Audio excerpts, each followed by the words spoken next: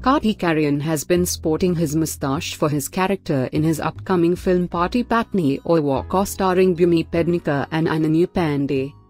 And recently, during the promotions of the film on the sets of a dance reality show, the actor got rid of his moustache on the show itself.